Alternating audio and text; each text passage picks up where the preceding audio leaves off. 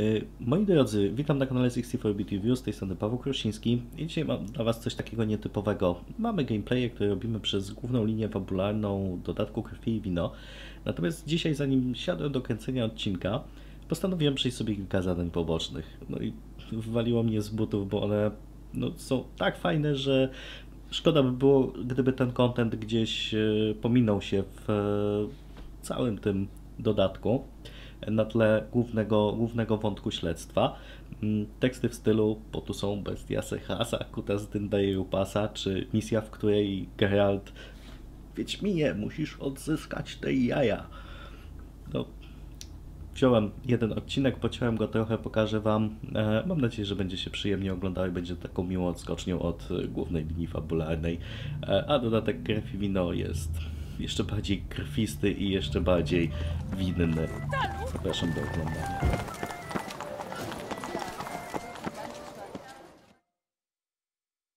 Proszę pana, proszę pana, mam dla pana list. List? Do mnie? Od kogo? A tego to ja już nie wiem. Ja miałem tylko dostarczyć.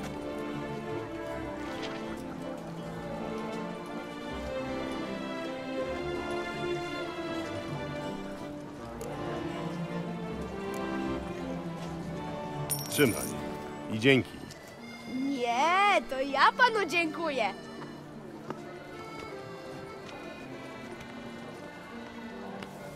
Drogi przyjacielu. Doszły mnie słuchy, że bawisz tu są. Mam nadzieję, że zbytnio nie nadwyrężasz zdrowia podczas festiwalu wina. W twoim wieku tego rodzaju wysiłek może być nader zgubny. Być może zainteresuje cię fakt, iż przeglądając księgozbiór jednego z moich przyjaciół, natknęłam się na wzmiankę o niejakim profesorze Moreau, który prowadził badania nad wiedźmińskimi mutacjami. Szczegóły są dość niejasne, umiejscowienie laboratorium nieznane. Ale wskazówki mogą znajdować się w dzienniku, który ponoć spoczywa w jego grobowcu. Dołączam też mapę, którą znalazłam w księdze. Jest trochę nieczytelna, ale mam nadzieję, że na coś ci się przyda. Gdybyś poczuł się zmęczony bawieniem dam i kosztowaniem boklerskich specjałów, możesz spróbować dowiedzieć się czegoś więcej w tym temacie. Twoja przyjaciółka, Jennifer. Profesor pracował nad wiedźmińskimi mutacjami. Może faktycznie warto się temu przyjrzeć. Był taki luźny przerywnik, a za moment przechodzimy już do zadania, gdzie będziemy e, pomagać człowiekowi nę- dręczonemu przez nocne hałasy. się tym nie zajmie. Bo jak będą... O co chodzi? A wyście może w sprawie ogłoszenia? Mistrz Wiedźmiński? To ty masz problem z jakimiś hałasami na cmentarzu? Tak, tak! Wygląda na to, że tylko ja. Nikt inny się nie pofatygował, żeby się tym zająć, a, a hałasy wszyscy słyszą.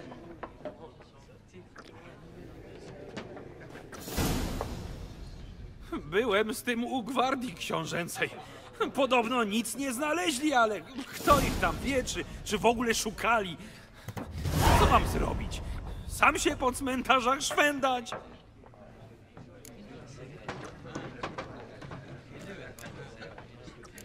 Te hałasy powtarzają się regularnie?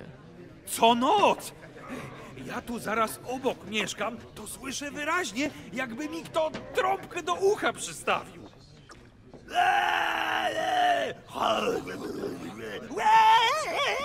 Kurwa! A potem... Łobudu! Coś jakby niedźwiedź pierdolną w kredens. Rozumiem.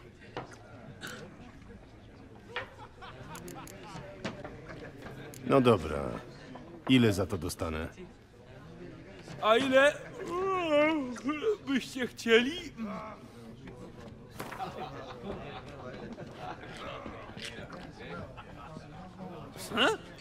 Z- Za dużo.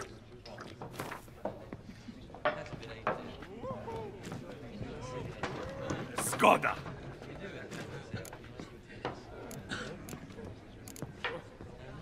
Zajmę się tym. Były jakieś ofiary? Albo zaginął ktoś ostatnio w okolicy? Czy to tylko hałasy? Nie, nikomu nic się nie stało, na szczęście. A, a co, myślicie, że to może być jakiś potwór? Może, ale nie musi. Równie dobrze mogą to być hieny cmentarne albo jakiś bezdomny. Przekonamy się. Sam już nie wiem, co gorsze. No nic. W, w każdym razie ruszajcie, mistrzu.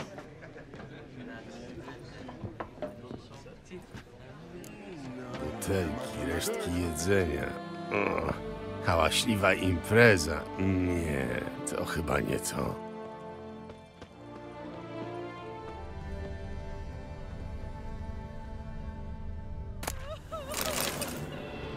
Rozkopany grób, ale hieny cmentarne raczej nie hałasują.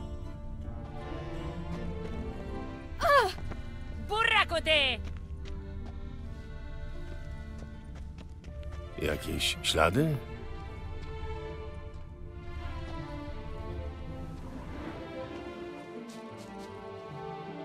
Wgnieciona trawa i... Hmm, majtki. Chyba nie o takie jęki chodzi. Trzeba tu wrócić po zmierzchu. Zaraza. Znowu ktoś się tłucze. Hałas zdaje się dobiegać z katakumb.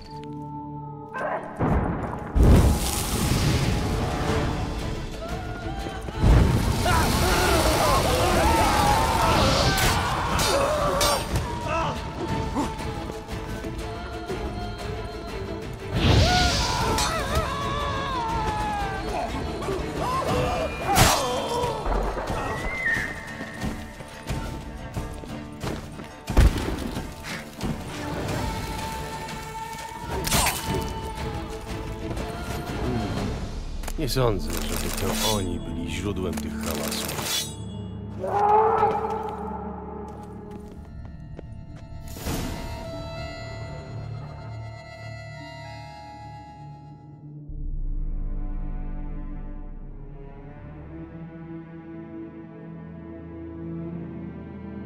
Nic, tylko całymi dniami bimbał i grał w te przeklęte karty jak jakiś krasnolud.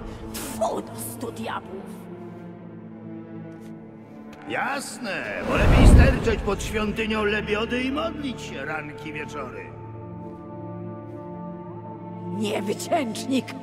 Za ciebie też się modliłam, żebyś jarzmo hazardu zrzucił. No to marnie ci poszło. Widać bogowie też mieli dość tego jazgotu. A ty tu czego? To prywatna rozmowa.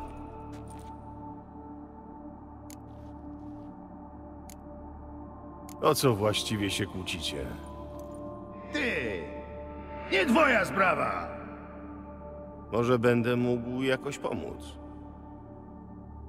Nie wiem, kim jesteś, ale ratuj mnie. Nie chcę przez wieczność leżeć obok tego bezbożnika. Zabierz go z mojej krypty. Ale o co tu właściwie chodzi? To moja krypta! Moja! A ta raszpla nawet po śmierci nie chce się odczepić i mi kołki na głowie ciosa! Gdzie ja miałam oczy, jak za niego szłam? Tego bydlaka karciarza i szulera. Nawet własne dziecko byś w gwinta przegrał. To było raz, kurwa, i to żartem! Ile razy mam ci powtarzać? A kto nasz cały majątek na posąg lebiody oddał? To był zbożny cel! Zbożny! Światłość naszego błogosławionego proroka odmieniłaby ten kraj hazardu i herezji. Skąd na miłość bogów mogłam wiedzieć, że to szwindel? Bo cię ostrzegałem! Jakieś 500 razy! Cisza! Uspokójcie się oboje.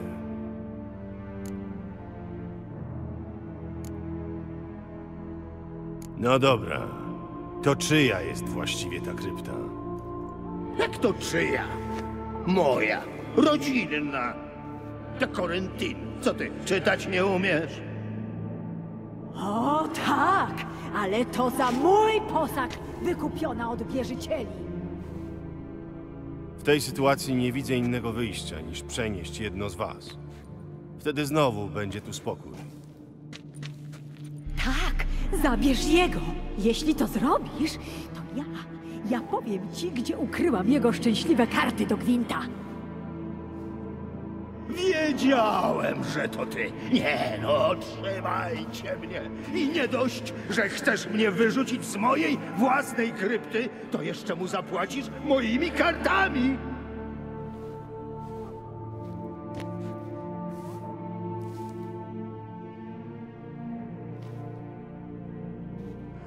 Zaraz mnie szlak trafi. Gdybym miał te karty na turnieju w Pelhaven, to bym nadal żył.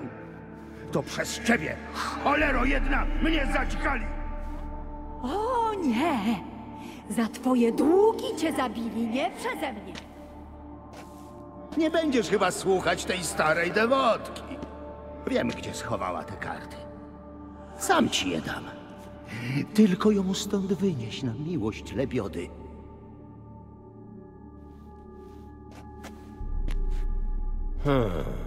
Muszę się zastanowić. No dobrze. Jedno z nich trzeba przenieść. I rzekł prorok Lebioda, nie będziesz grać na pieniądze. A potem dodał, bo dla mnie zabraknie. Ty heretyku! Zamknij się! Nie rozmawiam z tobą! O nie, stara Mendo, to ja nie rozmawiam z tobą. Louis de Corentin prosi o westchnienie do proroka Lebiody.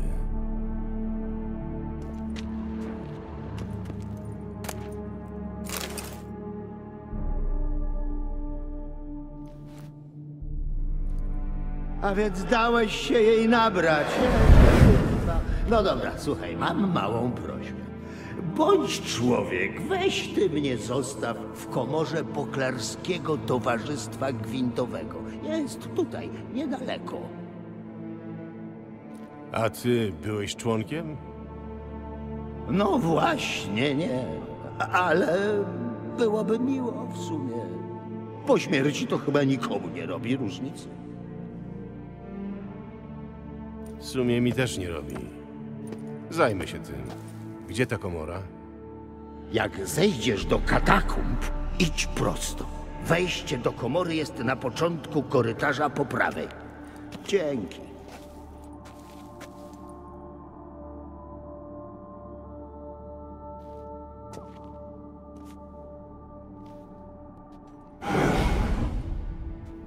Panowie też do tego klubu Gwinta?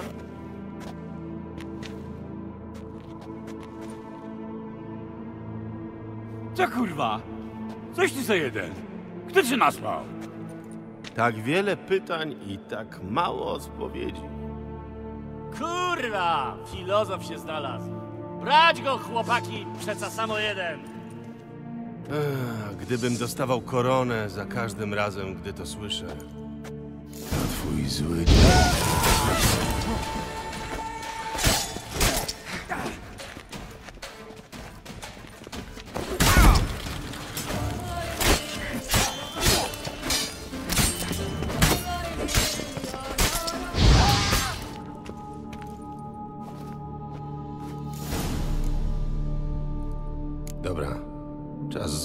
Się do Margot po nagrodę.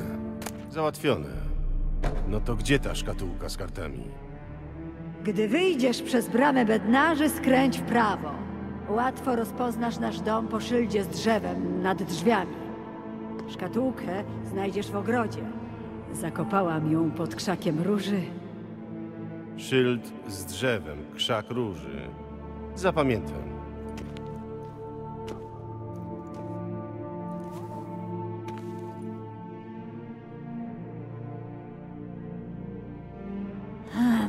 Co zrobiłeś z Louis? Fakt, to był kawał drania. Świata nie widział poza gwintem, ale nie chciałabym, żeby skończył w rowie czy w wychodku. Nie martw się. Znalazłem mu dobre miejsce. Będzie się tam czuł jak w domu. Bywaj.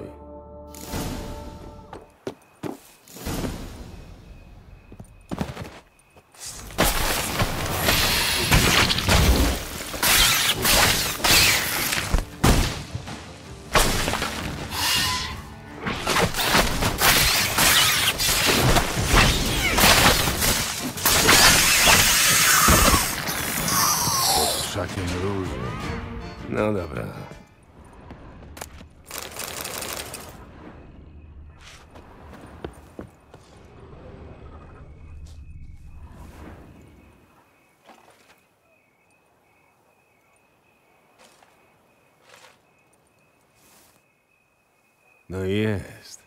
Tak, jak mówiła. Są i karty do gwinta, jak obiecała. Co tu się dzieje? Święty Lebiodo, miej mnie w swojej opiece, bo nie zdzierżę. Mówię chyba wyraźnie, nie ma dziś pokazu.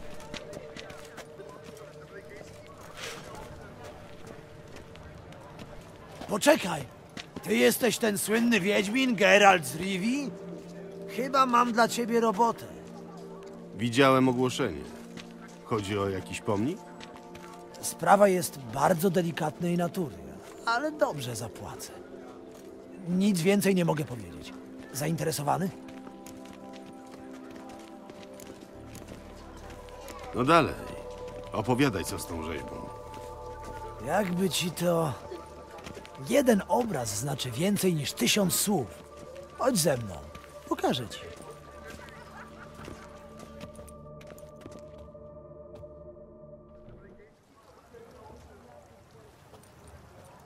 No, i co powiesz? Oto i on, nasza duma. Reginald Dobry. Niezrównany kochanek, niepokonany szermierz nad szermierze, a do tego jedyny w swoim rodzaju wirtuoz gry na harfie. A, wirtuos. Dobra. No i co z nim? Jakby to ująć, yy, no, ukradli mu jaja. Zaraz, zaraz. Ukradli jaja? Posągowi? To nie jest byle jaki posąg. To jedyna autentyczna i certyfikowana kopia, do której wykonania Reginald użyczył odlewu własnych genitaliów. Dzięki temu każdy, kto je pogłaskał, zyskiwał niesamowitą miłosną witalność. Każdy z opłaconym biletem, oczywiście. Wiedźminie, musisz odzyskać te jaja.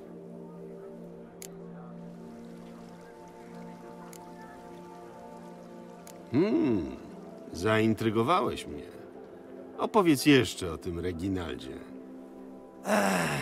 Długo by gadać. Według legendy razem z architektem Faramondem projektował Beauclerc.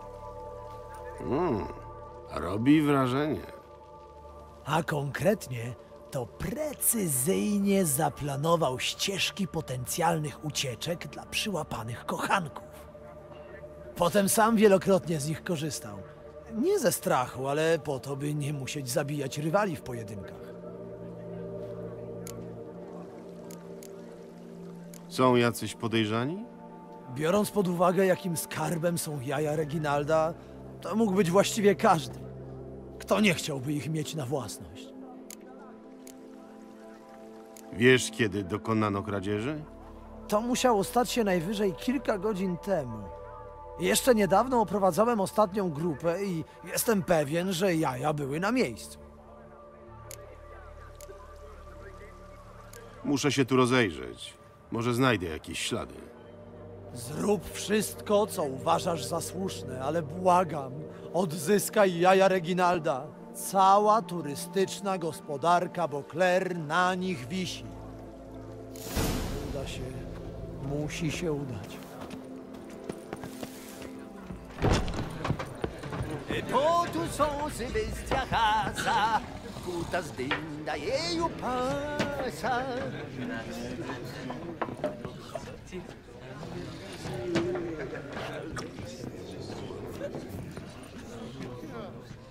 Załatwione. Nie będzie więcej hałasów na cmentarzu.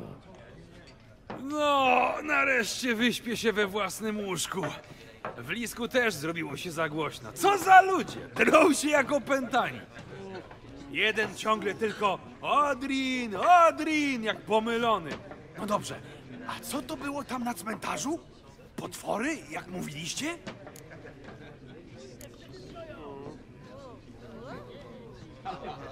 Tak. To było bardzo trudne. Wymagające zadanie. Kodeks wam zabrania podawania szczegółów, tak? Może to i lepiej. Proszę, to mała premia dla was. Zasłużyliście. Mam nadzieję, że to inne spojrzenie na dodatek krew i wino się Wam podobało, a ja niebawem zapraszam Was do gameplaya z głównej linii fabularnej. Cześć, trzymajcie się.